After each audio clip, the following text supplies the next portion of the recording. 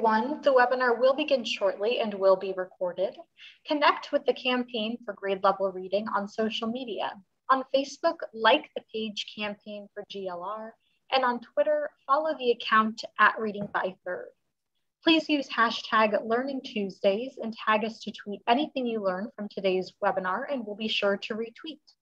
We encourage you to share your questions, reflections, and observations on social media. Once again, we would love to connect. So on Facebook, like the page Campaign for GLR, and on Twitter, follow the account at Reading by Third. The webinar will begin shortly. It will be recorded and shared with you afterwards. Okay, once again, welcome to today's webinar. My name is Sierra Sanchez, and I will be behind the scenes helping to produce this conversation. I have just a few housekeeping details before we get started. First, we would love for you to introduce yourself. So please use the chat box at the bottom of the screen to share your name, city or state, and your organization. Be sure when responding to select both panelists and attendees so that we all know who is here. All attendees are in listen only mode, but we encourage your engagement by posting questions in the Q&A box. We will dedicate the last portion of the conversation to respond to the questions you post. This webinar is being recorded and a link to the recording will be emailed on Friday to all who registered. And we are also live streaming this session on our Facebook page. Finally, we'll be posting a brief on-screen evaluation during Q&A and highly encourage you to respond. This helps us with our commitment to continuous improvement. Finally, before we start, I would just like to call your attention to our upcoming GLR Learning Tuesdays webinars including sessions in this regular 3 p.m. Eastern time time slot and in the earlier 12.30 time slot as well. Next week, we will have an exciting double header with a peer exchange exploring how GLR communities are working to ensure digital access for all children in the 1230 time slot, and a session co-sponsored by New America, exploring what is behind the 10% drop in kindergarten enrollment nationwide mm-hmm. and how district leaders are responding. We will kick off October with a special funder to funder conversation that acknowledges the emotional trauma and daunting challenges of the many layered disasters affecting communities across the country in the 1230 time slot. And later that day at 3 p.m., we will have a session in partnership with Education Week and the Rollins Center for Language and Literacy, lifting up the foundational nature of trauma-informed practices in the construction of the deep reading brain at 3 p.m on October 5th. Registration links for these upcoming sessions will be posted in the chat box. Joining you now is John Gomperts, Executive Fellow with the Campaign for Grade Level Reading. Thank you and enjoy the webinar.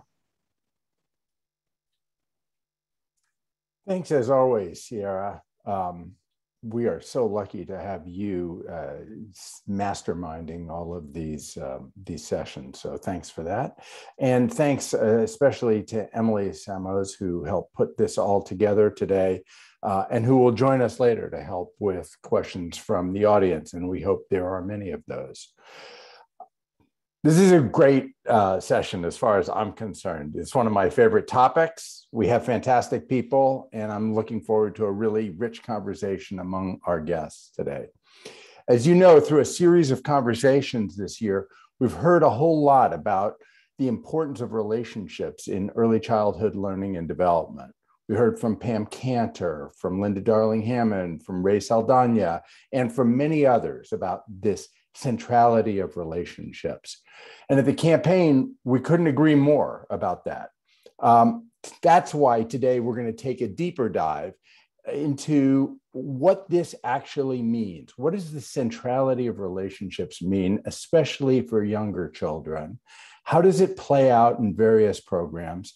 And how does it interact with other campaign priorities, like the role of parent engagement and the parent teacher dyad? Here's what, with the help of our guests, we want to explore and accomplish today. We want to deepen our understanding of the importance of relationships in early learning and development. We want to learn about the shared beliefs of those who lead efforts in the areas of coaching, tutoring, and mentoring, and also about the particular benefits of each of those approaches. And then we want to explore how these additional, extra, I don't know exactly what word you want to use, adult relationships can support and strengthen parent engagement, um, parent educator connections, and especially the, this, this crucial connection between parents and teachers. So that's our agenda today. And we couldn't have better folks to help us explore these issues um, than four colleagues who are joining us today. So um, I'm going to ask folks to, in a moment, put on their, well, first we're going to do this little thing with the screen, and then we're going to ask people to join us. So um, Janet Carter is the president and CEO of Coaching Corps. Gina Martinez Keddy is the executive director of the Parent Teacher Home Visits. Um, by the way, you can find more extensive, these people have long and impressive records, and there is nothing more tedious than reading people's long and impressive records. So I'm not going to do that, but they are uh, available to you as a resource in the chat box and were sent out earlier. And then we have David uh, Shapiro from who's the CEO of Mentor and Adeola sometimes you'll hear her referred to as Ola Whitney, who is the CEO of Reading Partners, one of the nation's greatest tutoring programs. Thank you all for being with us today, and I hope you will all turn on your screens and join us live now. You'll see some nice backgrounds also. We've been discussing each other's backgrounds, including David's garage door. Yes. So we have a terrific crowd today, and I'm eager to dig in on these key issues um, and questions and others that you all raise to each other. And then um, I also want to get to questions from the audience, of course. Uh, just a quick note for everyone. I'm going to, Gina, I'm going to come to you after I spend some time laying down some fundamentals with Janet and David and, and Ola. Uh, and then I want to bring you into the conversation specifically to talk about how these additional or extra adult relationships uh, affect and can support parent uh, engagement and especially that key relationship with teachers. Um, so I'll be back to you shortly. Patience. Um, let's, I, would like to start with this question, just the fundamentals of the importance of relationships in early childhood development and learning. Um, I think sometimes when we think about this, this thing of relationships. And when we think about the specific activities that you all are involved in, mentoring, tutoring, coaching, uh, perhaps the mental picture is of kids that are somewhat older. Um, and you know, for the campaign, obviously we care about older kids, but obviously we're focused on kids who are, you know, pre-K through third grade and their learning and development, their academic success, but also their overall developmental success. Um, and I know that each of you are sort of, while that may be the public perception of this relationship category, each of you are, are really interested in the early childhood part as well. So Janet, uh, why don't I start with you? Um, why relationships and how does Coaching Corps go about introducing positive developmental relationships into the lives specifically of younger children? Well, thanks so much, John. And I, I want to start by thanking the campaign for grade level reading for challenging us to find new answers to John's uh, question and how to create supportive network of adults around young learners. And for stimulating our imagination on how we can encourage all adults, but in particular coaches, tutors, and mentors today to be what we at Coaching Corps call game changers for kids uh, our approach um, is is based on the fact that we believe that there's really nothing more powerful in a relationship with a young person than communicating i believe in you. I see your strengths. I'm here for you. And letting them know that in small and big ways every day so that they experience trust belonging autonomy and growth within that relationship with the adult. And our approach is based on harnessing this power of sports and trained coaches to do just that. So we have a, a one a 30 second video we'd like to share with you, which actually, um, Sierra, if I could um, ask you to uh, play the video, it is of the voice of the people who matter the most here, the kids. Dear coach, I don't need you to be good at throwing a spiral, scoring a goal, or hitting a three pointer. I need you to be good at just being there so I can feel supported. And that I matter. Being there so I can have someone to look up to. Who knows what it's like to be me. And while I'll like to be a good athlete, I'd love to be a great person. So, coach, I'm asking Will you be ready to be there for me?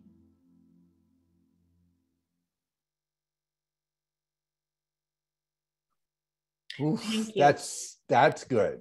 That's good. You win. well, it's it's it's really it's really that's what we're all here for, right? And the way that coaching corps quickly does that is um, we recruit people to become sports coaches. We train them in how to create the transformative relationships that those kids are asking for, and then we place them in after school programs serving low income communities because kids in in low income communities play sports at half the rate of other communities. And we have a portal where you can sign up to be a coach and get trained and find a placement.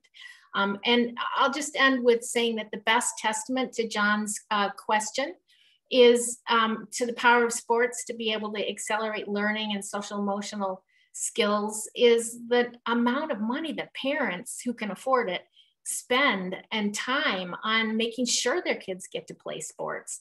It's not because they want them to be the next Steph Curry, it's because they know how important that relationship with the coach is. Um, and so um, it's the game changing relationships with long, young learners that um, is is what our coaches are all about. Well, as a Warriors fan, I'm just going to say there is no next Steph Curry, but otherwise, I subscribe to everything that you just said. Um, that's fantastic, Ola. I, I'm gonna I'm gonna come to you now because what Janet said had all to do with building this sort of environment of support for young people, which puts them in a position to learn.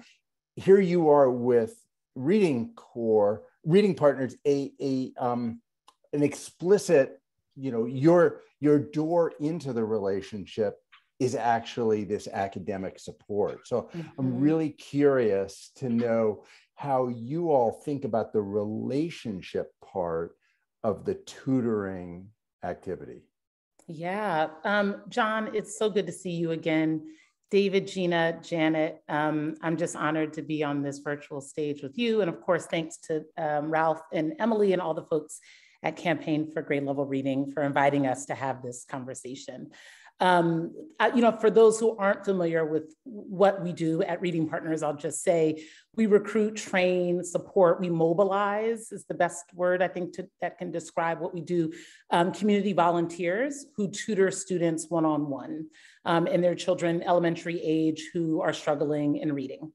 Um, and so that's kind of the cornerstone behind what we do. But to your question, John, around relationships is a great one. It, it is the cornerstone of our approach. I think first and foremost, we believe, similar to what you were saying, Janet, that building a trusting relationship with a student, whether you are teaching them to read or you're working with them, you're coaching um, them in a particular sport, it's just, it's vital. Um, the way, the reason that we're able to really help children make significant and measurable progress in reading is because we recognize that the connection is so critical.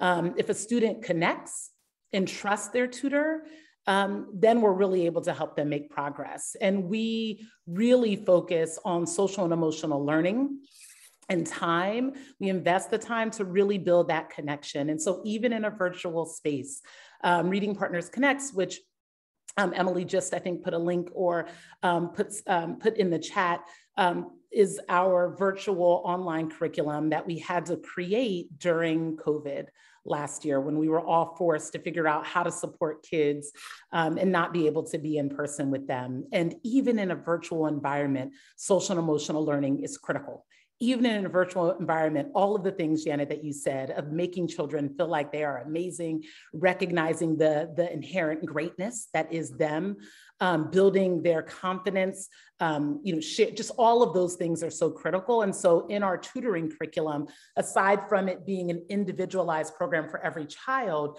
we infuse social and emotional uh, learning lessons into every session. So to really just ensure that in addition to teaching a child about phonics or letter recognition or comprehension or decoding, that we take the time to just connect with them uh, because that's really where the magic happens. That's where it starts and that's what they remember.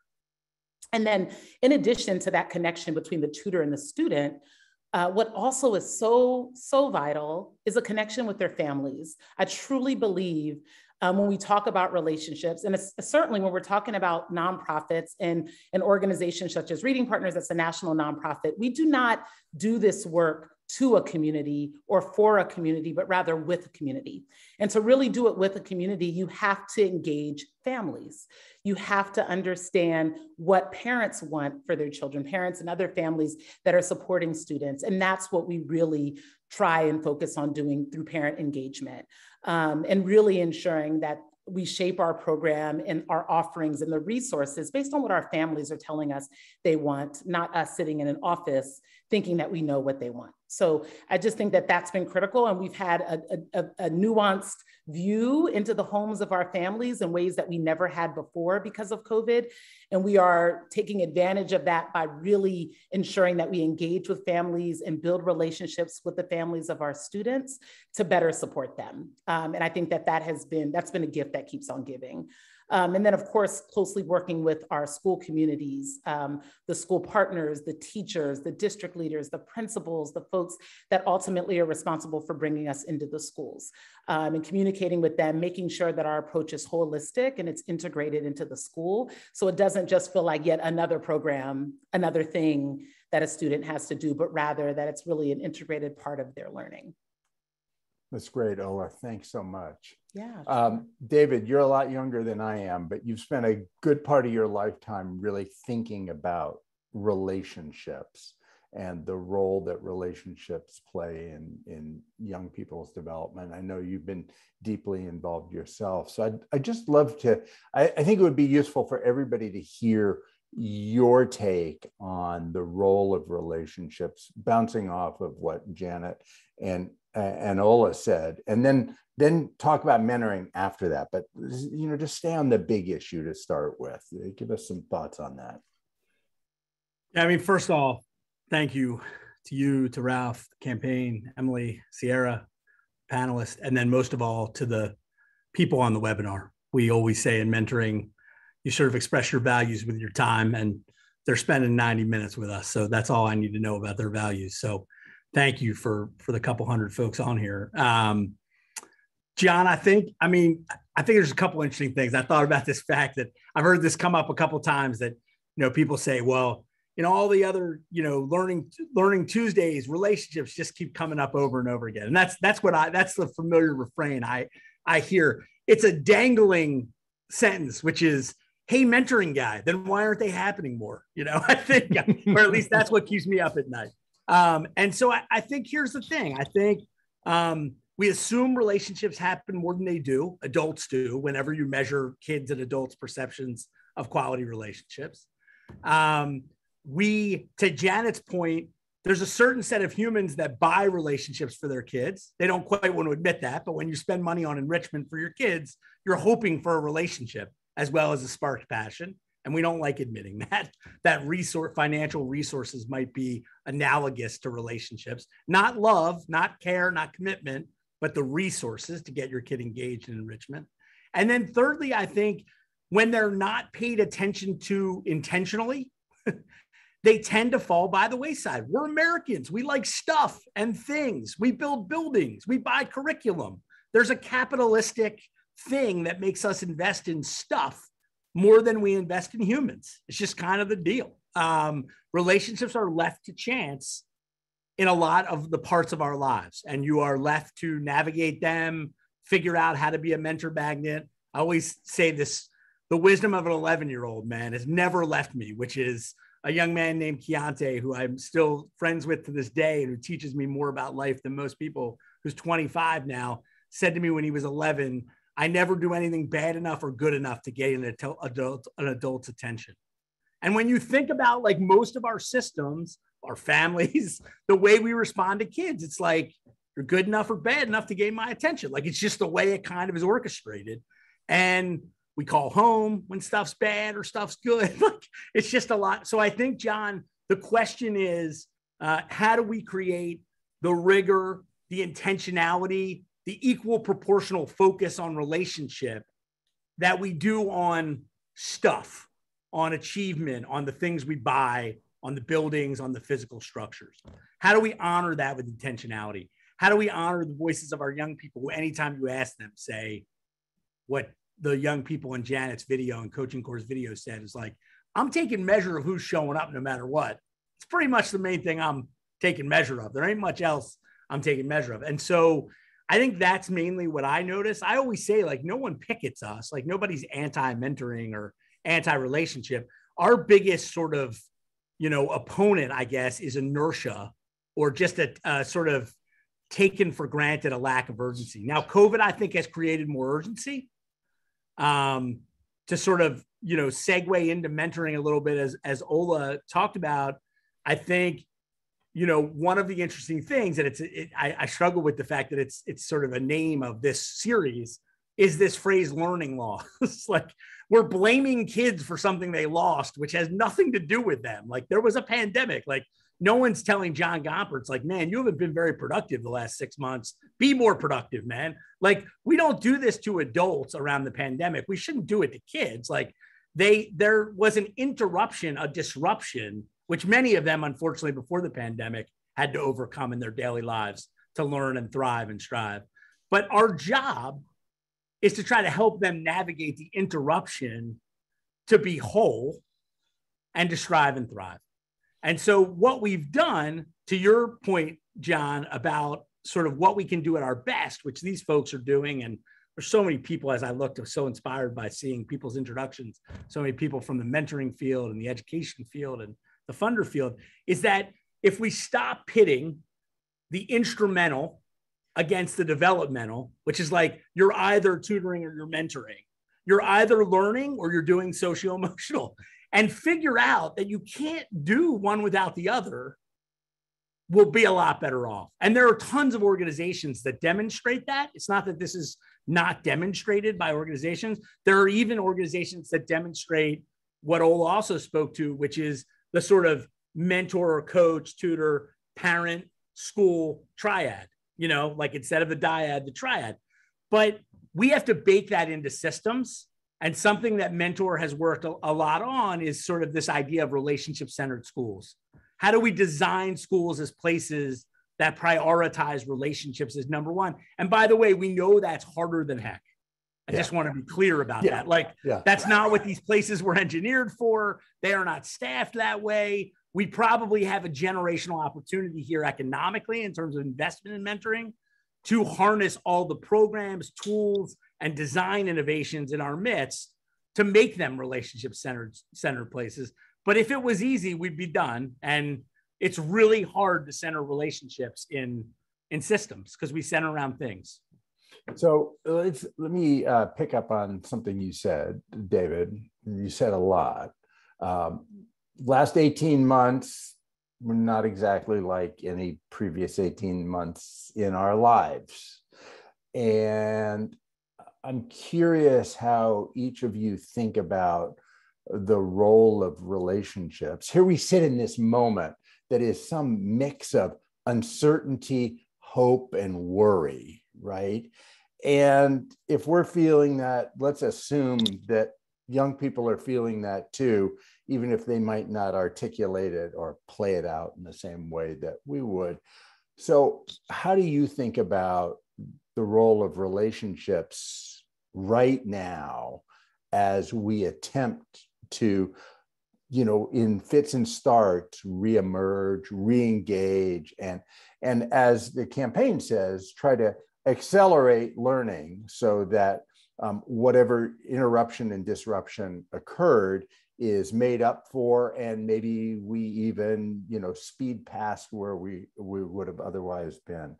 Ola i'm curious let's let's start with you on this question of of why relationships are especially critical in this moment I think positive relationships are especially critical, not any relationship. I mean, let's just call a thing a thing. I want to make the implicit explicit um, because as adults, we all have relationships, um, and not all of our relationships are positive ones. So I think what's key is our positive relationships yep. that center students in their potential and their greatness, and that are asset based and that are not focused on all the things that they are not or that they did not accomplish. And so that that to me is key because what isn't are all of those other things that I described, which are which is also happening in various parts of our country, right? I mean, in in districts and homes and and so many different places. So I think yes, positive relationships are really key right now. Um, that that really do more to ultimately um, support our kids and mm-hmm. show their greatness and, and all of those things that I just that I just said. That's yeah, that's what I would add. I'm I'm curious. Um, yeah, Janet. I'm yeah, I'm, I'm curious, Janet, how this is playing out in the in the world of youth sports. Um, a uh, let's say less required activity, but you know probably what kids are more they're more interested in most kids are more interested in sports and games and fun than they are in school and so forth. So, um, how, how does how do you see the role of coaching right now? Important, its importance in helping us all reemerge. Yeah, um, you know, I think that the kids coming back have gone through so much, and and, and a coach can't can't guess or know what they've gone through. So, what we are finding is it's really important to equip our coaches with the tools to be able to coach through a lens of empathy.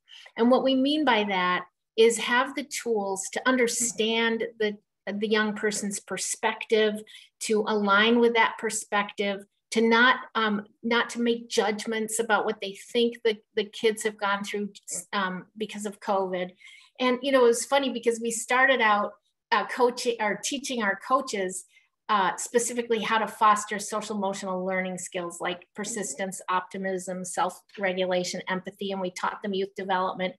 And um, and we realized when we did that empath- uh, the the, tra- the social emotional learning um, training that actually empathy was the core foundational skill that you had to have to create any uh, relationship with a young person, a positive relationship.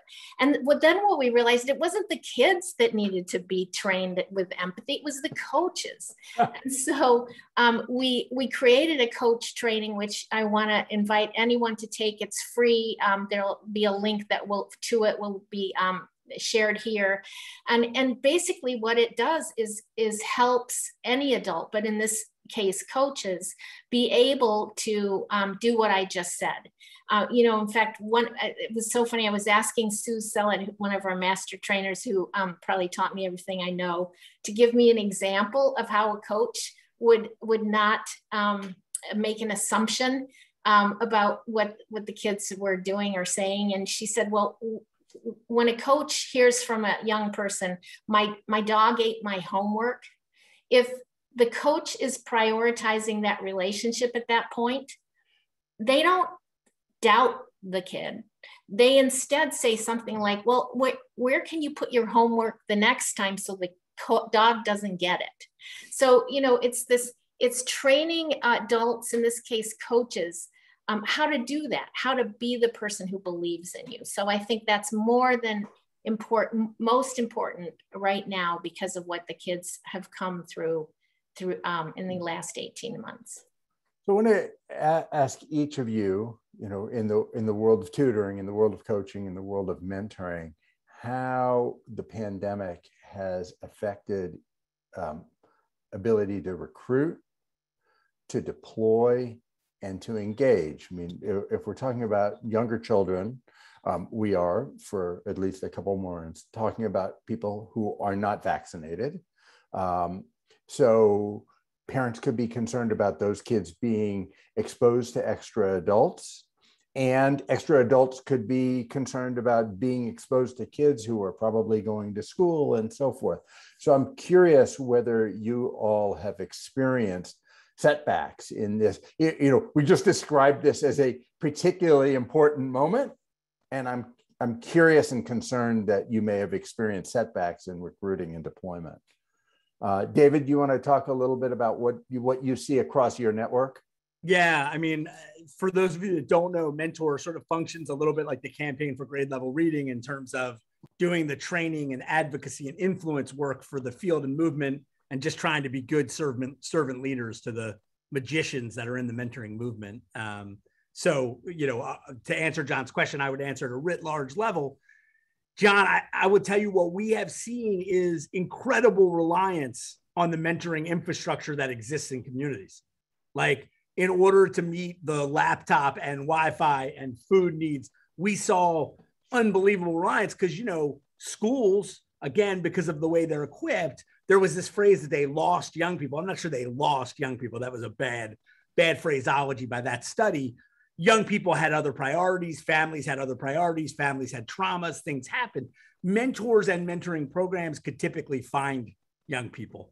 They knew the whole prism of their lives. And so, in some ways, there was a greater demand on the mentoring infrastructure, which is mm-hmm. weaving together a community to sort of meet the whole needs of young people.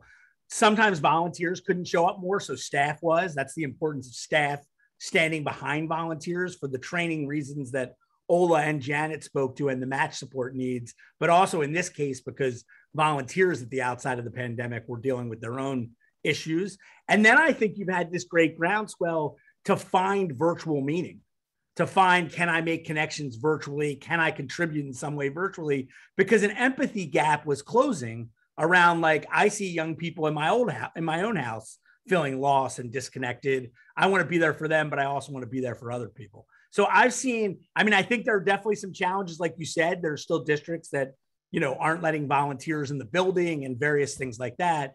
There's also been an explosion of virtual sort of volunteerism coming in. And I think there's a real effort to be there for young people. We sort of launched this thing with some others around Ready Set campaign, which was just to invite people to be part of the school support network. We also wanted to change the debate from this one about like, you know, is it the teacher's fault? Is it the kid's fault? Should the district be open? Should it be closed? Like we were having all the wrong debates that, to use Ola's words before, were not centered on students at all, really. um, and so we're just trying to call people to young people and to schools and to the job at hand, which is harder than it's ever been. Ola, how's how's recruiting deployment going for for reading partners right now?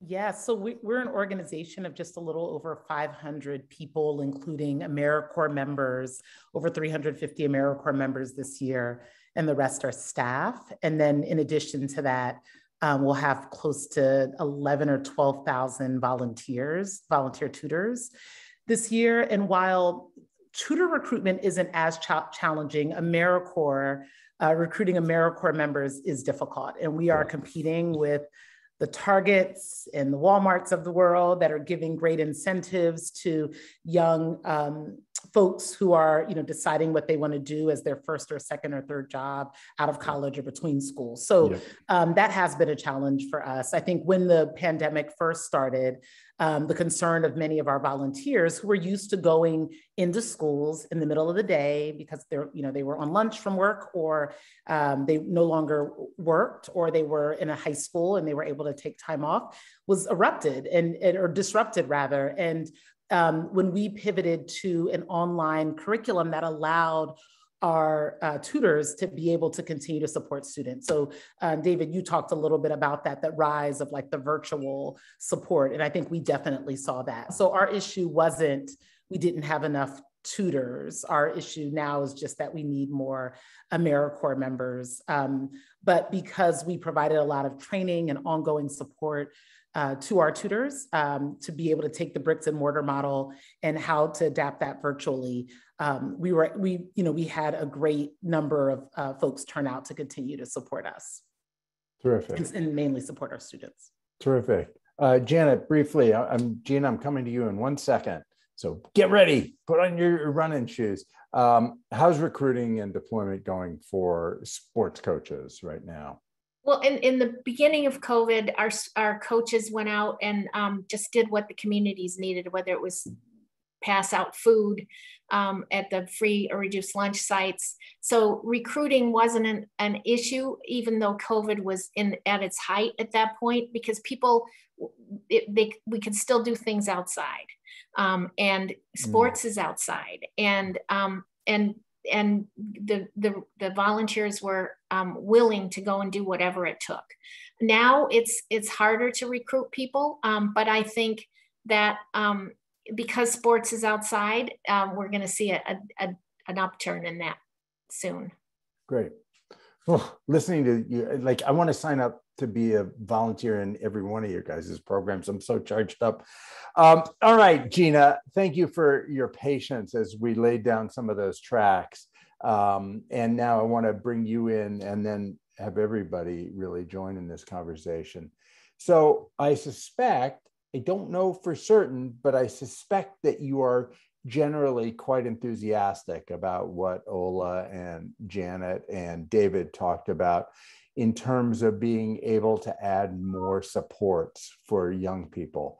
But I, I also suspect you have some thoughts about how those relationships intersect with relationships that parents have with their own children and that that that relationship that we really want to build between um, parents and educators. So um, curious i'm, I'm just going to start with you a, a, you know a big broad question about uh, these additional supports and and how that intersects with parents Sure. Yeah. Thank you, John. And thank you, everybody. I have been so inspired so far. I've been taking notes and um, I am so excited about what I'm hearing, um, both from the panelists and what I'm seeing coming through in the chat box. So thank you everybody for this opportunity.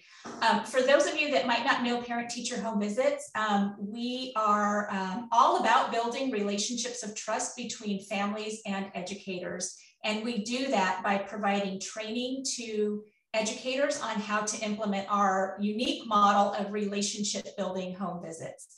And I do want to emphasize that really the sole purpose of our home visits is to build relationships of trust.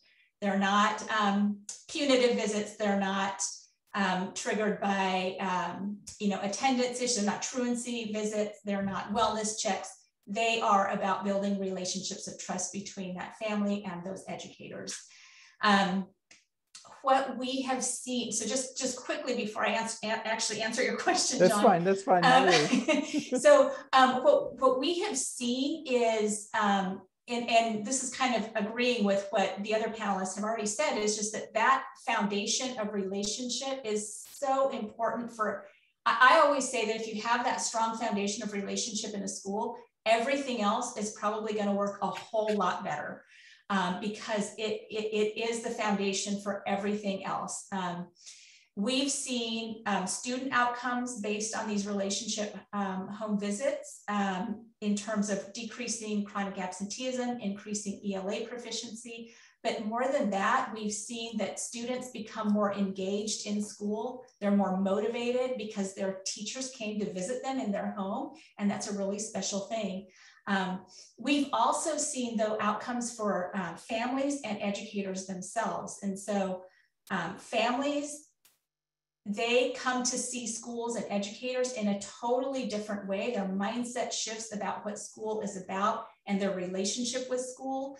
They are more confident um, in approaching schools. Uh, they, they communicate much more often with schools. They get involved in schools. They know what kind of questions to ask.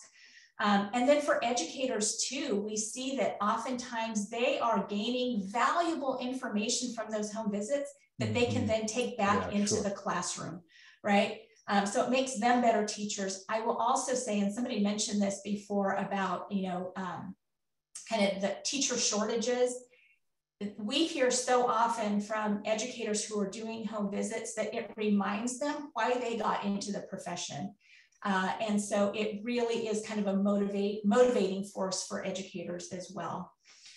Um, I do want to say that when we provide our training to educators on how to use our model of home visits, that we view, we define the word educator as pretty much any adult who has a professional role at the school.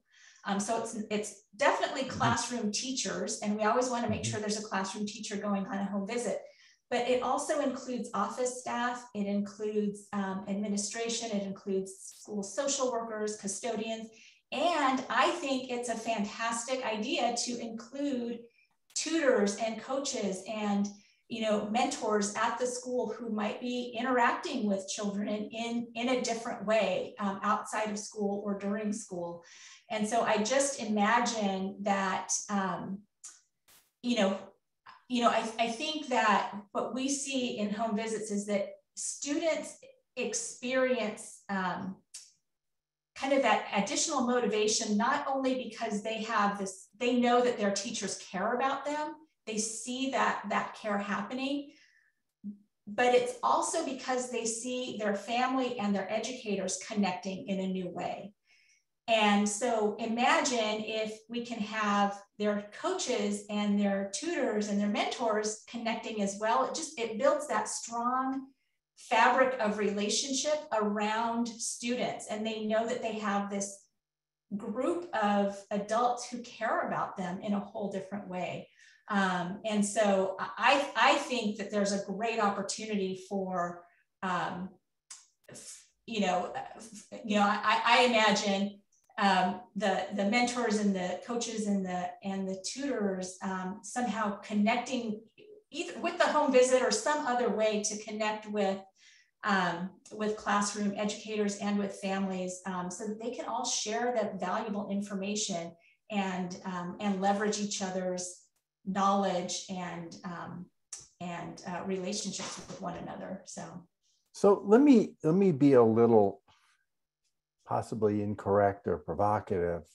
I fear sometimes that the programs that we all love so much that offer additional support are, are sometimes not seen as additional support, but kind of like replacement for parents who are, for whatever reason, not able to fully play their role. And, and that is um, I think that that sort of idea exists out there that that's what mentoring is actually about. I don't think that the people in the mentoring, tutoring, or coaching field think that, but I think others think that. And I worry sometimes that parents can feel threatened by others who are engaging with their kids. It can feel disempowering. So, uh, first, I'm curious. Um, really, Gina, for your thoughts on that. And then I, would like to hear from the program perspective how, how people are prepared to deal with parents who've got struggles of their own and sometimes aren't able to show up in every way that they would love to show up. Yeah, I think, I think you make an excellent point, John, is that parents care about their children. I, I have never, I, now I haven't met every parent in the universe, right? But um, I have never met a parent that does not care about their children. Um, and so that is just the flat out assumption that we have to start with. Um, and, uh, and so, you know, I think parent, a lot of parents have had histories with the education system um, that have not been very positive. And so, um, so it's no wonder that they don't want to get engaged because there's been a long history in a lot of communities of schools and educators and programs playing a certain role vis-a-vis the family and certain assumptions about what the family is doing or not doing. And I think it's really important to address those assumptions that we're placing on each other. Um, and so, um, so schools are, are placing assumptions on parents about how much they care or don't care. Parents themselves are assuming things because of their own experience in school. And so there's got to be a way for um, to begin to disrupt those kind of assumptions. And, and we think home visits is one way to do that. Um, uh, so, um, so yeah, I think. Okay, interesting. So Janet, I, I want to come to you first, and then and then to Ola about this. There's a there's something around sports, you know, activities that feels, to what Gina just said, perhaps safer to some parents than parents who didn't have particularly good experiences with school um, feel intimidated disrespected in school settings may actually feel more comfortable in in activity settings. So i wonder how you think about that. And also what's in your you mentioned your training before. I'd like to know a little bit about how you train coaches around family engagement Yeah. So um, that's a great question, John, because, you know, sports is all about creating community, right? It's a hook for parents, it's a hook for teachers, it's a hook for all other adults that are in the children's life. They love to come out and see the kids play. So I think coaching and sports gives us a moment that we should use more effectively together as a place where uh, this communication can happen, this intentionality that David talked about could happen. Um, we don't have to figure out a different platform that half of the people aren't going to be able to access. we could just possibly center it on a place where parents, like you said, feel like they they want to come and they and they often do. So i, I think that's really important. I, I think to your second question um, you know this this uh, the campaign for grade level readings um, sort of leadership and bringing this this uh, topic up has made us think about our work differently. And we realize we don't equip coaches um, with enough tools to make sure they're intentionally engaging uh, parents. The parents do show up and um, and it, and and we need to you know we've learned from our coaches what those best practices could be. For example you know take the opportunity to talk to the parent to find out what's going on with the young person. Talk to the teachers. The teachers often show up or the coach is going into the school um, you know to find out what's going on with the with the young person. Um, virtuality, if you will, can I make up a word, has made that easier. Um, you know, and we've got some coaches who know that the parents are working three jobs because we work in low income communities. So they, um, and they can't come to sports. So they've moved the games to weekends intentionally so that the, the parents will come. Um, and, and then there's that whole thing, you know, the the relationship between the coach and the parents. Um, you know, sometimes when a parent says, I'd like to talk to the coach, the coach is like, oh no, I didn't give the kid enough playtime. um, so, you know, what, what can we do to equip um, uh, coaches with um, a way to see that as a positive moment, right? All those things I wish I could say we do, we don't. And I think after this webinar, we're going to think about doing it. Love that. Love that. Ola, I think that sometimes um, tutors can mm-hmm. be experienced as extensions of school. The, the focus mm-hmm. is academic, or people can perceive that the focus is academic, and then you can run into that loop that Gina was talking about with parents who who didn't really prosper in school. That wasn't their thing. They had a lot of other things going on, and so they feel intimidated. They don't feel like masters. They don't feel a high sense of efficacy. So I'm curious how you prepare your um, your tutors to mm-hmm. engage with the parents and try to create that positive connection and energy.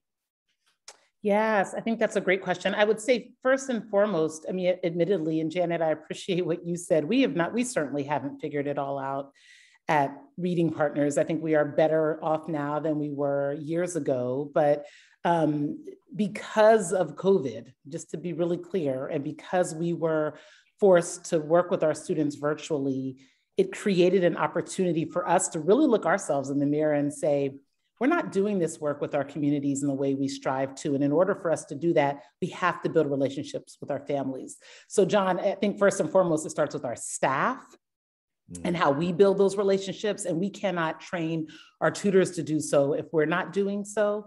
So that's where we first started. I mean, we we just asked, we first made some assumptions of what we thought parents wanted, and we realized, uh, nope, that's probably not what we should do. Why don't we just ask them? Why don't we give them a survey and provide incentives uh, for those who complete the survey? And just asking them during COVID, what are the resources that they want? What are the ways that they want us to engage them? And that's what we did, and it worked. Um, and, and as a result of that, that then helped to shape the training and orientation that we provided to our tutors. Far too often, and you know, it's it's sad, but it is a true reality in this country. And I mean, we all saw both pandemics, the, the global pandemic and the racial reckoning. Sometimes people go into this work with like this savior complex or this idea, um, Gina, to your point of if it's not that these children need love they're not they're not they're, they're not not receiving love right they're not not being cared for they are um, but rather um, we are here to provide even additional support but to, to come into and i remember having to say to a tutor long ago um, they, they, they were talking about the work that they were doing and they were like yeah you know i'm here to just provide love because I know these kids don't get that. And I said, but do you? How do you know that they don't? You don't. So, I mean, I, I think there is that. And so, um, so much of what we do, I think folks have the right intentions and don't always recognize their impact. And so, a big part of our training and onboarding focus for our tutors is helping them understand what it means to be asset based and how we think of not, oh, these poor kids and they're so this, but rather like the fact that they learned anything during a global pandemic is incredible. And the first thing that you can say is, you, you know, you can, you can um, shower them with positive reinforcement. You can talk about that. And so how do we, how do we use role playing in different scenarios in our onboarding process and training with tutors to help them understand that? That's hard. And then how do we do it even in real time? And virtually, it's a little harder to do that than in person. Uh, but those are some of the things that we're working on and just bringing our parents and our families of our students closer into our program to ultimately ensure that the decisions we may make about our program model are shaped by the feedback that we're hearing from families. And I think the more that we center our families into what we, as opposed to making assumptions, they don't care, it's so hard for them to do this, they don't, like all of the things, as opposed to doing that in the same way that we ensure that we have an asset frame, you know, asset-based uh, way of thinking around our students, we should do the same thing for families. And so many of us are also parents, you know, and so I, you know, I will often ask, like, would you think that for your own child? Then why would you think that for somebody else's? So it's just it's important that we do that. John, I could talk about this forever. I love it. But I know we so, don't but, I, but I'm gonna I'm gonna grab the mic back from you. I'm gonna give I'm, it to I'm Gina. passing it to you. I'm passing it to you. Uh, Gina, you have an opportunity to do live re-education and training with these people. Um, what would you say to people who who lead programs that are really intended to provide additional support, just as Ola just said, to young people with a real uh, a positive intentionality around those young people who are struggling the most. I mean this everybody on this on this screen is is really about equity and trying to help those kids who are struggling the most and are in the most challenging circumstances. What would you say to you got them they're right here on your screen. What would you say to them about how to engage parents in the most positive way that will help accelerate the learning of those young people? Yeah, I think it's a great question. And I think um, for me, it's, it's, it's a, a change in focus, right? Rather than ask, how do we engage the parents? It's asking, what do we need to do in order to um, be in a different kind of relationship with parents? And so for us at when we do our training with educators, um, you know, there's a lot of um, barriers. A lot of them, quite frankly, are around fear um, about going into students' homes. And because of all the different mindsets that educators have about families, students, communities, all of that. And so we really try to help our educators get an understanding of what kind of mindsets they have coming into the home visit. But then um, most importantly for us, it is kind of an action reflection process. And so the experience of doing the home visit, and that's why I, I, I liked what you were saying, Adeola, about um, you know trying to do it real time, because it is the experience of something that I think provides a very ripe opportunity for them to go back and reflect on together. Like when you, for, for us in the home visit context, it's like, you know, we have teachers go out and do the home visits and then we bring them back at some point to do um, kind of a, a reflection debrief of their home visit experiences. And just really simply asking them like how you know what did you think about the family or the student before you went into the home visit? And what did you learn about them and how did you come out thinking about them differently after that experience um, and then, you know, most importantly, I think in some ways is not only what did you learn about the student or what did you learn about the family, what did you learn about yourself from doing that home visit and reflecting on it afterwards? I think that's a really key question to do some self reflection on how I, as a teacher, as a mentor, as a coach, whatever role I play, how did I change as a result of this experience in this relationship? So. David, I see you're eager to talk, and I was just going to ask you um, in fairness, I would say that probably Ola used the term savior.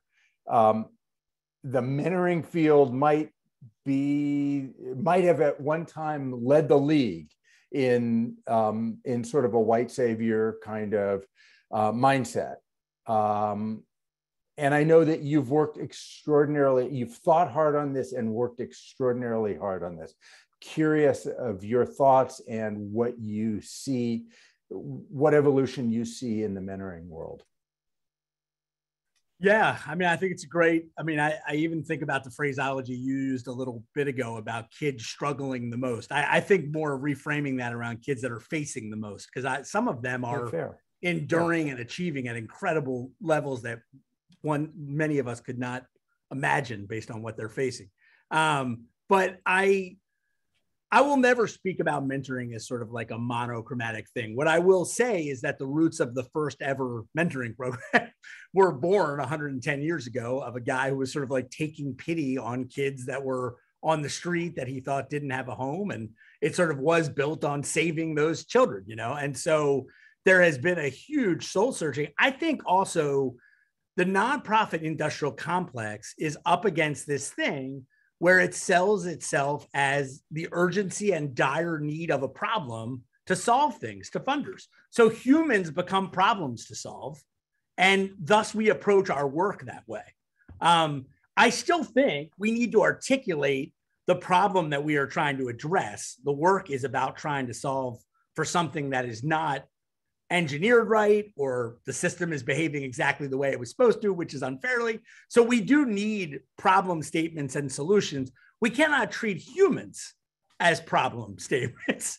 And that is where often the work kind of bleeds together, John. I think in mentoring and lots of youth development and education, um, I think what I have heard loud and clear in everybody's words, and especially in Gina's most recently, is that we all need Sherpas on this journey to stay away from our implicit biases, the things we fear, the things we all have, whether we're educators or mental health professionals or coaches or parents, the things we assume about the system. And so to me, the mentoring professionals that I love so much and volunteers and all the people on this call, they are the Sherpas to try to help us bridge build, to see ourselves with an asset lens, to get past the things that keep us from getting in each other's way in a positive way.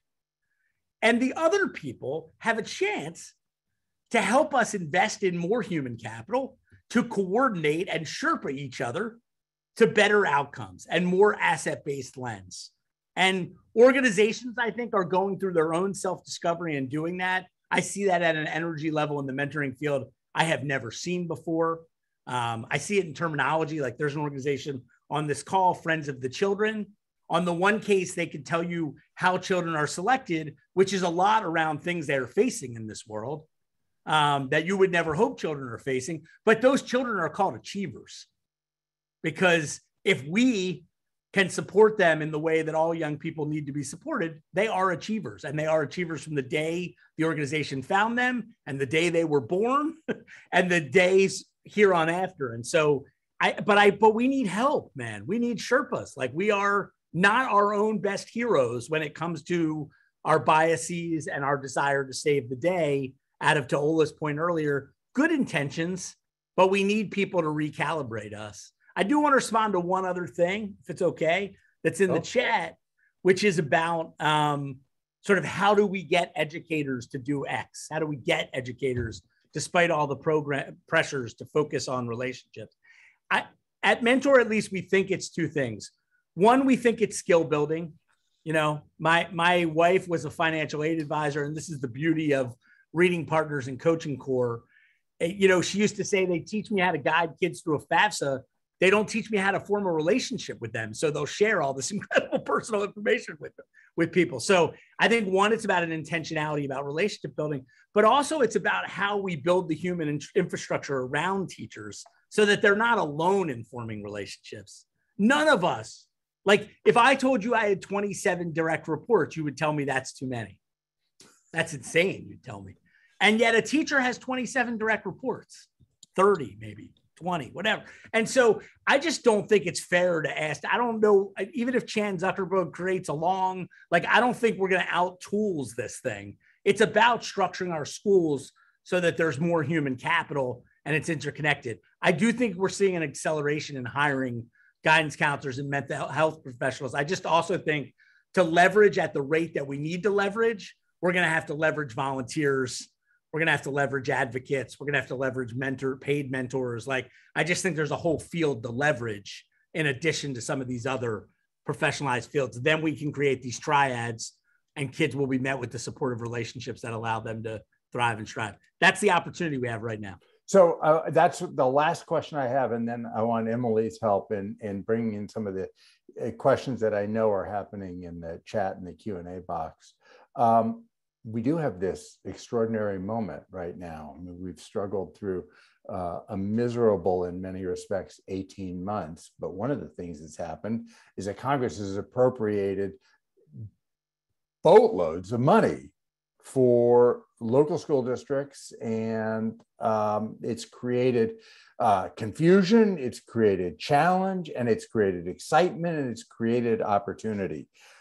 I think this crew right here believes that relationships should be central and we should figure out the ways to invest in relationships. I suspect many of the people who are listening right now and will listen in the future are interested in exactly that. So, Ola, I'll, I'll start with you and then I'll go to Gina, but I'm, I'm just curious like, there are a lot of resources right now. People on this call, I, I'm sure, are stirred up and want to do stuff what stuff can happen right now because of the new resources? Collaboration. Collaboration is free.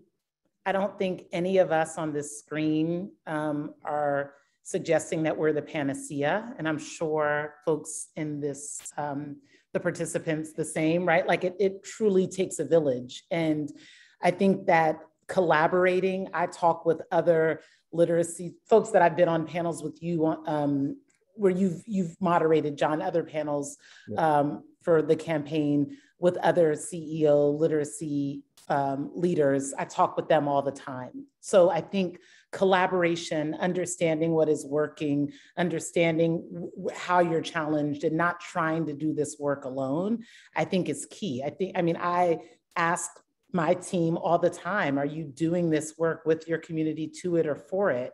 And if the answer isn't with, or you can't give an example of how you're doing it with, I think you know perhaps therein lies the problem so it is it's free to pick up the phone or email and call someone or email someone to have a conversation about how they're returning to school. So a lot of what we did um, right before the school year started was going directly to our district and school leaders to understand how are you prioritizing the needs of your students? What does social and emotional learning look like when you go back into the school. So literacy was like the fifth or sixth question that we asked. It, it, mm-hmm. it wasn't the, the, most important. And so um, we are constant, and we're in 12 different parts of this country, and we're constantly finding ways in each of our various regions to work directly with local communities and other nonprofits um, to ultimately support students.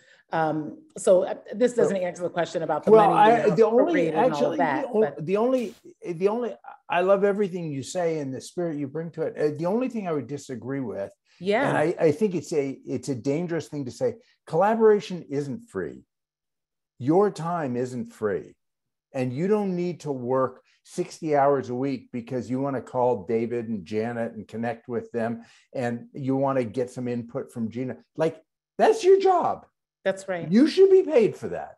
That's and right. sometimes, you know, David, you said people like to buy stuff and junk, and there are people who make money from selling stuff and junk.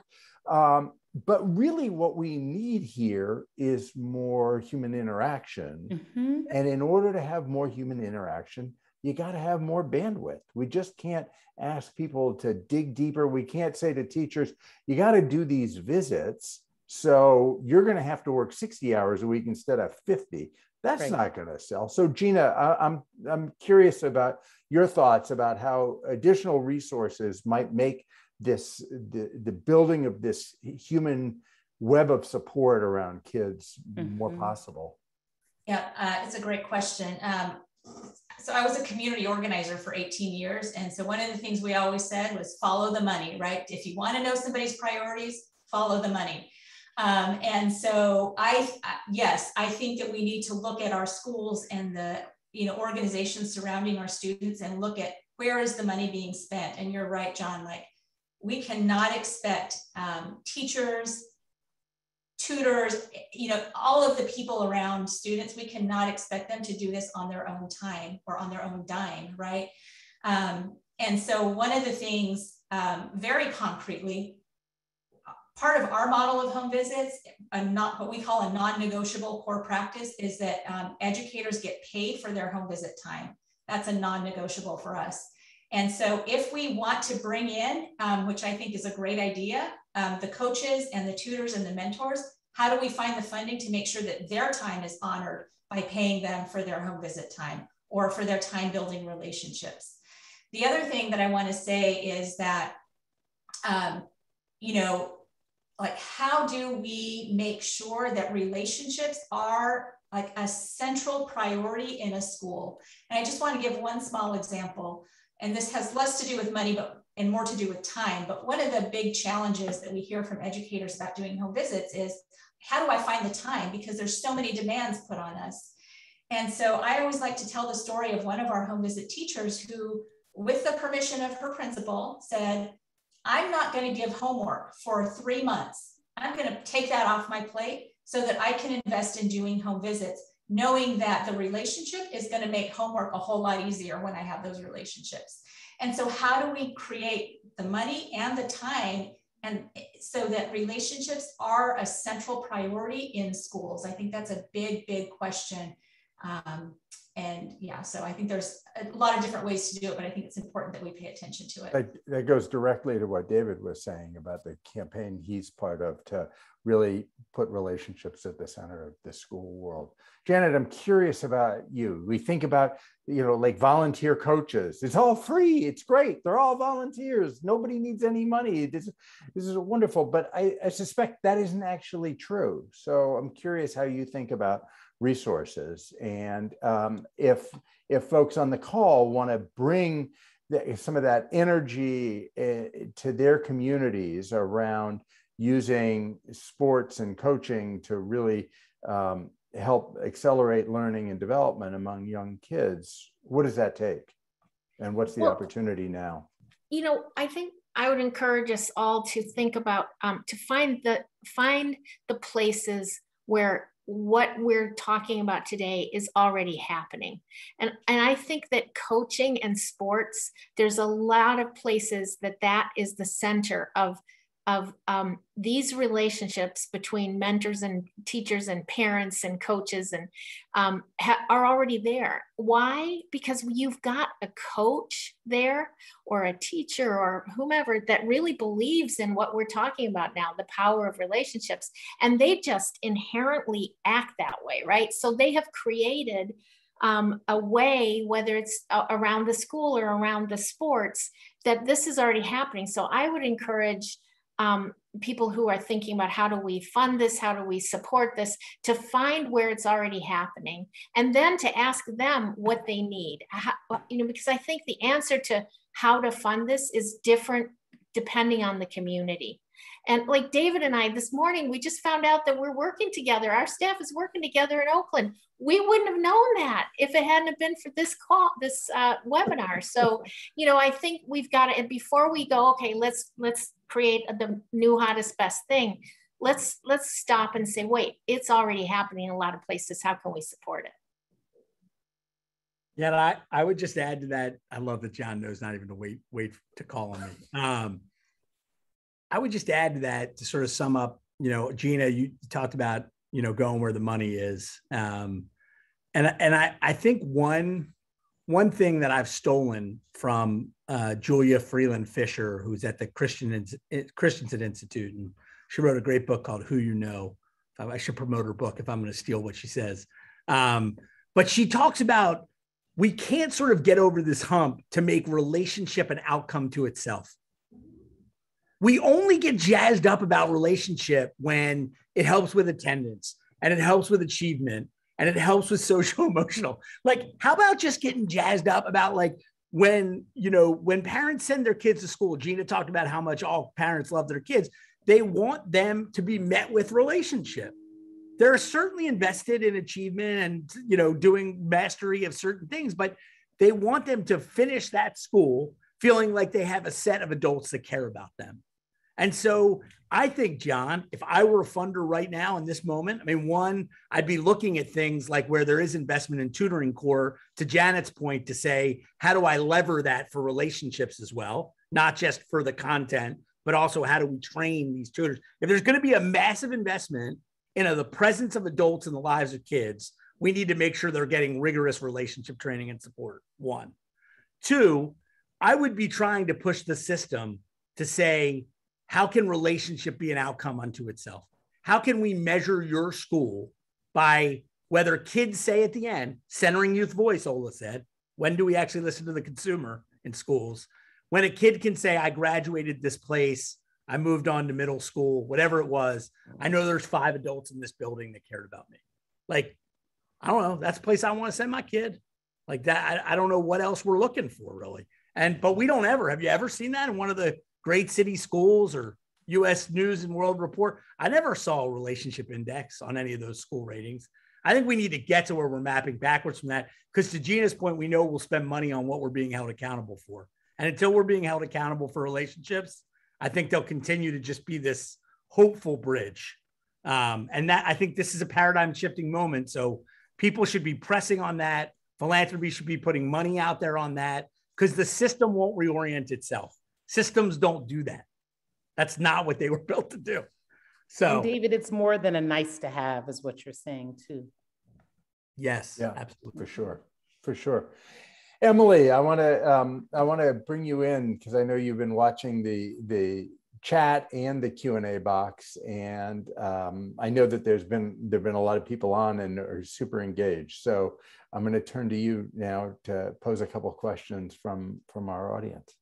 Yeah, you know, it's interesting because our um, amazing um, panel here has answered a lot of the questions, but I do think some of them are good to just sort of bring up again. And even though you've addressed a lot of these in your comments, I thought these couple questions from Alex Kolker, and I'm going to assume that, um, let's say you're a principal or you're somebody at a school and you want some really practical advice on how to better integrate families into the school student relationship. I know you've all touched on this, but like getting it down to like, here's what you should do if you're in a school and you're trying to get, you know, your teachers more in, um, you know, involved in that school student relationship, get your families more involved. And then taking that a step further how do you get teachers who are you know completely overwhelmed and exhausted after the past 18 months to focus on relationship building with individual students and considering all these other stressors they have right now gina do you want to start on on the the first question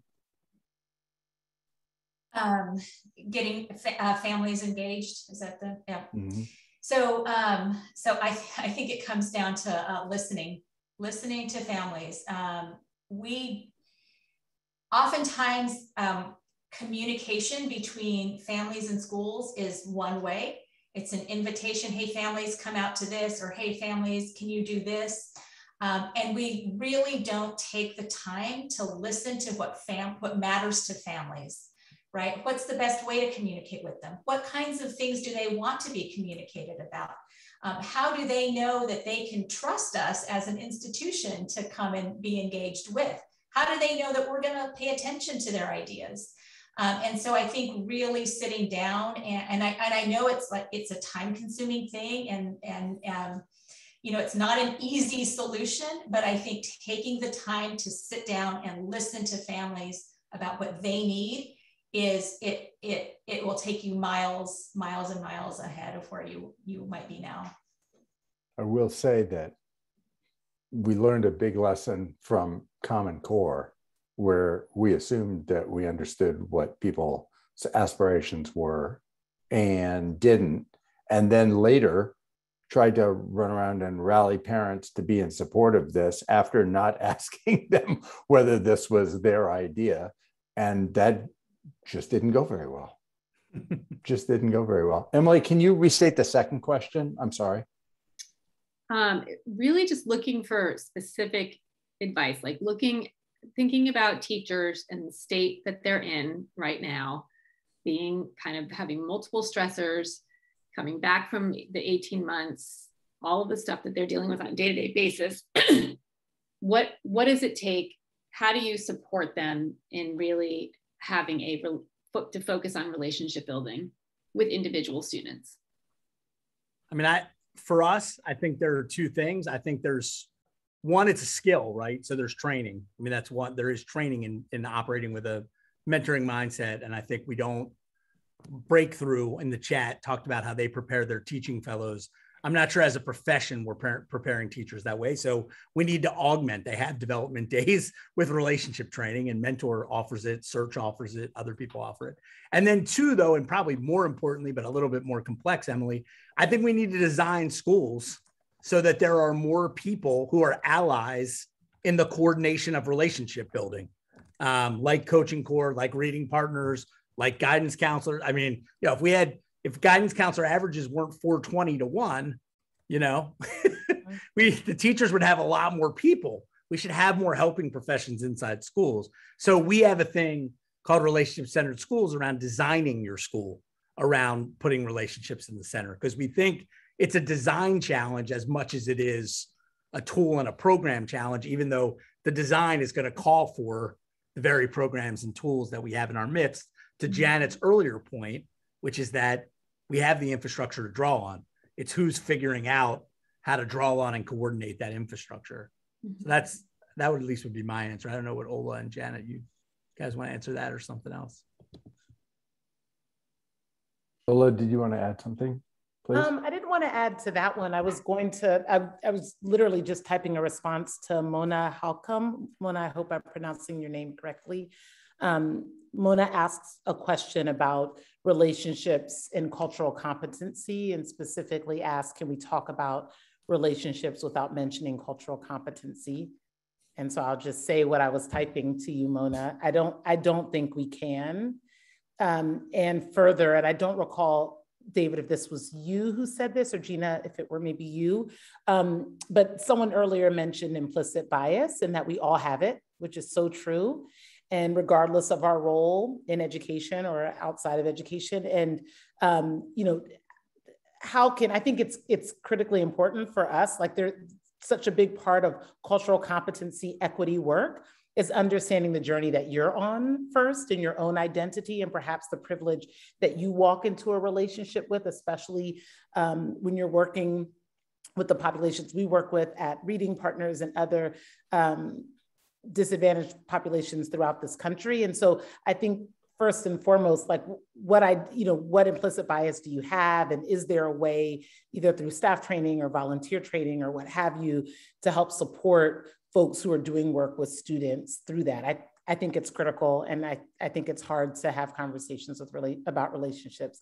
without focusing on that, and especially given the racial reckoning and so many people raising their hand to volunteer and support students over this last year. Um, you know, doing it now and seeing the urgency, I, I think nonprofits and educators alike are just responsible uh, for helping to train and support the communities that come to volunteer with them or coach or tutor or you know any of the above. Janet i see you leaning in which is a good thing because i was going to ask you um, i think there's something implicit uh, there's sort of an implicit equity play in in what coaching corps is trying to do. But when i listen to ola i think yeah yeah that's great but how do you make that much more explicit how do you prepare your coaches um, to really be on that journey and not assume that they're just great souls because they've raised their hand for this this assignment? Well um, one of the ways uh, for the specific coach is to um, that that's what the empathy training was designed to do to make it so that they don't coaches don't assume that they understand the life experience of the young person. But more importantly, um, I think we've learned a lot about that. Um, and we we recognize that what we used to do essentially is we would say we're we're we're helping you community um, figure out how to increase sports access. Um, as opposed to now, what we've decided, what we're doing is asking the community to tell us how they would increase sports access. So while most communities will tell you we want sports, we want it to be equitable because we believe in the power of the relationship that coaches can bring for young people one community has a different way of doing it than another. So we've now started what we call learning communities, where we bring primarily Black and Brown leaders together to say, what is it that works here? What are your assets already that you want to employ towards this? And then what else do you need? And we're, we're seeing an incredible response to this. Why? Because everybody wants sports for their kids, right? It's not that we have to sell this. This is not a, a program we have to, you know, tell people that, oh, by the way, these are our outcomes and there's a research to back up the outcomes. Everybody that that's what sports is. And so I think it's really important for all of us to step back and make sure we're asking, particularly Black and Brown communities um, and communities who don't have access to whatever it is that we're um, that we're offering. How how do you think we should do this? Really interesting. And Janet, I'm curious as a little follow up, the extent to which coaching corps would you train, prepare coaches to encourage students around uh, to young people around their student endeavor, uh, around you know showing up and really trying at school. Or or is this built on really the notion that people are going to feel respected and feel heard and seen and therefore they're going to feel better and therefore they're going to do better in school? Is there something that you're doing to explicitly build that bridge between participating in sports and the possibility of greater academic achievement? Um, yes, in the sense that we we see that the social emotional learning um, obviously uh, it, it supports academic achievement, and so we equip our coaches to foster social emotional skills like persistence, optimism, self regulation, empathy. But most important, and what's most relevant to us today, is that the power of a person who believes in you and who gives you that experience of autonomy, growth, um, uh, trust and belonging is what makes you believe in yourself and that's what we're really going for i love david's uh, point about let's make relationships the outcome I, I i just think that is so important if we're focused on academic achievement then that is i mean making relationships uh, the key what we're going for is what is it would be so important it would be a mind shift it would indeed. Emily, I'm coming back to you. Do you have uh, more that you want to you want to probe based on what people in the audience are saying? Sure. I mean, I think this is an interesting and kind of specific question. So I'd, I'd love to throw it out, especially hearing, you know, I know Ola, you shifted up to an online system, but what are some key tools that can help to express empathy in that virtual setting? and you know now that there's there's this person thinks it's an anonymous poster um, there's there, there's been a sort of an empathy gap that's been created because of the pandemic and being isolated so what are some tools that can bring that into the virtual setting yeah, I think it was Janet who was also just talking about empathy, and she has a tool. What we have is um, so as part of our curriculum, we have lessons that are social and emotional learning focused. So we call them SEL lessons. We have them every few lessons that a student goes through. And so it's meant to build their confidence, to take some time away from reading, to just connect with them and talk about how they're doing, to talk about things outside of the session that we're focused on. So there's there are key questions. And for that anonymous person or anyone else, email me if you're mm-hmm. interested mm-hmm. in hearing more about that at Whitney. My name is right below my face mm-hmm. at um, readingpartners.org. And I'm happy to share. And then, Janet, if you want to, maybe I pass it to you to talk a bit more about the empathy tool that you were, I think you said something about empathy tool. Yeah, we linked it okay. in the, um, Oh, okay, you did. Okay, empathy great. training. Yep. And then, Um, oh, I was, can I just also say just one other thing, Emily, maybe before the next question? I think when we, I- again, to make the implicit explicit, we were talking about cultural competency. Thanks to Mona for throwing out um, that question about, about cultural competency and relationships. And I think um, something that I believe based on what other folks have already said here today, I, I would imagine um, the other leaders on this panel believe the same thing, is just that we as organizations have a responsibility to our students and our families to not cause undue harm in our approach. And so then that means in, in the training that we do, it's just, it's, it's essential for us to make training a priority for our staff, our volunteers and all of those folks. So I just, I wanted to say that I kept talking about training and onboarding. I didn't get to talk specifically about what it looked like um, or how we do it within our organization, but that's also just a little bit of the why. And I think when organizations are speaking about equity and the work that they can do, it's just so much bigger than a performative statement that we can write on our website um, especially after a person of color is killed or there's some violent act that happened. Like it is, it's so much bigger than that. It's just also about our actions and what we do and the experience of the people, our stakeholders, our students, our families, our communities, and the staff and volunteers who are part of our organization. Thank you for letting me say that, Emily. Yes, thank you very much. Yeah. Um, so shifting a little bit here, I actually really love this question from Pamela Sivens um, because we've talked a lot about the important roles. Obviously, this is all about caring adults, but how do you make sure you're including youth voice in your work and your planning and implementation? And Ola, I know you responded in the in the Q and A, um, so feel free to answer, or maybe David or Janet or Gina. Yeah, I mean, I I would just add that, and someone else wrote in the in the chat a powerful statement, which I think is often said about teachers and their voices when we're talking about changing their institutions. And usually they're working so hard actually educating students. They're not involved in our webinars while we're sitting in our offices and they're actually proximate with kids. Um, but I think when we do our relationship centered schools design work, students and teachers are the key informants. So I think the question is just like, and I think this goes to Ola's point too, because it's like, what voices are informing you? And again, like who are you viewing as problems to solve versus assets to solve? To Janet's point about the infrastructure and the ideas might already be there. And to Gina's point about how much we're all loving and committed to our children. I think these are just things we're on autopilot about, man. Or or we, to Ola's point, we do them once, we do them in a training, but then we don't realize that like the actual twists and turns of bias and inequity come usually in the midpoint of the relationship when we see something and respond to it. And then we don't know. And so I would just ask everybody to challenge themselves like, who are you listening to? How proximate are they? And are you listening to them more than once? Because that's what performative, sort of what performance is all about is like, I listened to you, sick, you know? So, like, how are we listening to people repeatedly? That's what where power comes from.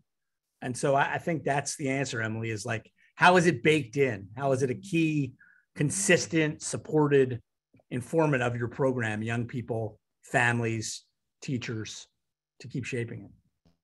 Yeah, and I, I think that uh, the the um, if you're coaching through a lens of empathy or doing anything with a young person through a lens of empathy, that's what it is. It's what David just talked about. It's like you're you're listening to the young person, you know. And I I, see that happen in on fields and gyms all the time. Like one of my favorite stories was when um, one of the uh, kids told their teammates it's not just the coach it's the, their teammates that his dad was getting out of um, uh, prison or, or jail and he was coming to watch the game and the young person was super scared and also excited about finally my dad gets to see me play. And the teammates figured out themselves on how to when the father showed up to situate so the young person could make that basket, could do all these amazing things.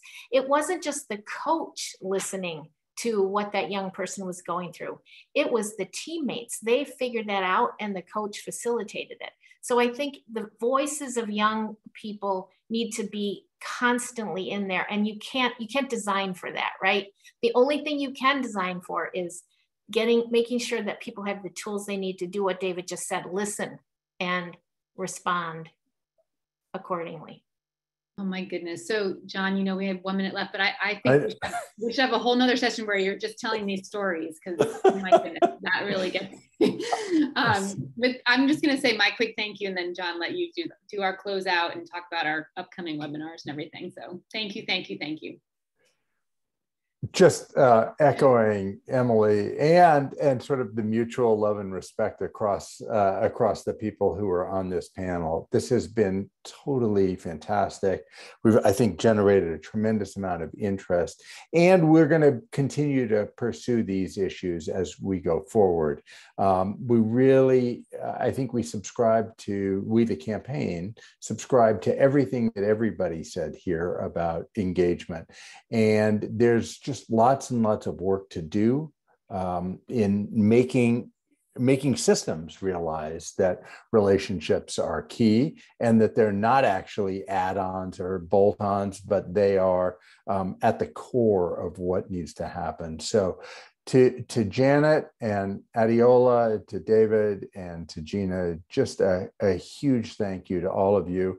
And, and thank you, Emily, again for um, facilitating the questions and answers. And Sierra, I know you're still on there somewhere in the background. You did a fantastic job. So we're gonna put up, I think, this screen with the uh, upcoming Learning Tuesdays. And uh, thank you all for joining us today. Thank you. Thank you all so much. Terrific. Thank you. Thank you so much. This was great. I learned so much. I did. I did. Ola, thanks so much. That was fantastic. Thank you. Thanks, everyone.